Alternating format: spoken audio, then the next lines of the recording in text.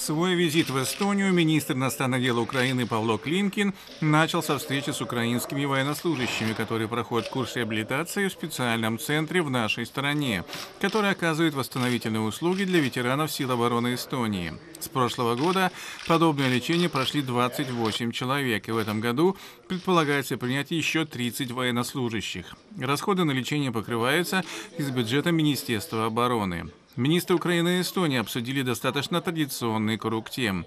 Они еще раз напомнили о необходимости выполнения всех положений минских договоренностей, возможности для Украины восстановления контроля над всеми своими границами, допуск наблюдателей ОБСЕ лишь после этого проведения выборов на Восточной Украине.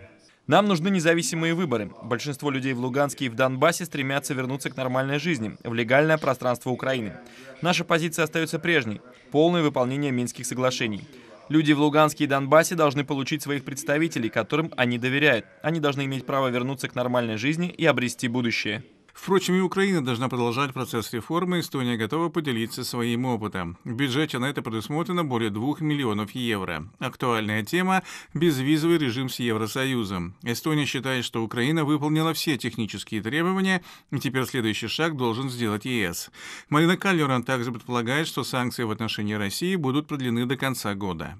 Сегодня я считаю, что санкции будут продлены до декабря. Пока трудно сказать, произойдет ли это на уровне рабочих групп, послов или пройдет политическая дискуссия в Совете. Но, насколько мне известна позиция других стран ЕС, о смягчении санкций можно будет говорить, если Москва выполнит условия Минских соглашений. Пока из Москвы таких знаков нет. Сегодня же Павло Климкин встретился со спикером Риги Кукаики Нестором, президентом Эстонии и представителями украинской общины. Томас Хенрик Ильюс также заверил, что Эстония готова сделать все от нее зависящее для укрепления проведенных и проводимых проводимых реформ. Он также повторил общую позицию ЕС в отношении ситуации в Крыму и на Восточной Украине. Владимир Михалков, Вячеслав Скалецкий, Первый Балтийский канал.